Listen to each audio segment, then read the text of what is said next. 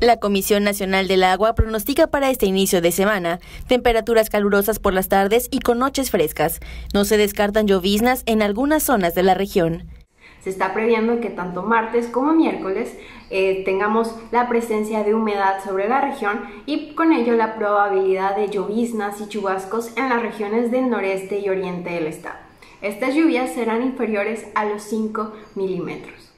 Las temperaturas máximas estarán entre los 28 y 32 grados Celsius, mientras que por las madrugadas y amaneceres oscilarán entre los 18 y 22 grados.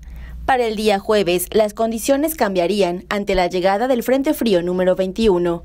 Este estará propiciando que eh, tengamos probabilidad de precipitaciones vespertinas en gran parte del norte del estado, así como en la región centro y sur. Estas lluvias podrían ser entre los 5 y los 25 milímetros, pudiendo ser puntualmente fuertes en algunos puntos del noroeste del estado.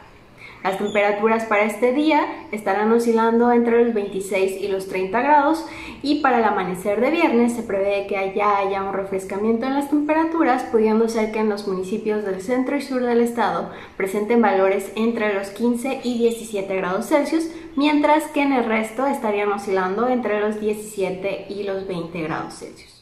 La Conagua invita a la sociedad en general a tomar sus precauciones ante la llegada del nuevo Frente Frío, así como por las lluvias que se estarían presentando en los próximos días. Con imágenes de Jonathan Wan, Ayerín Castillo, Noticieros Telesur.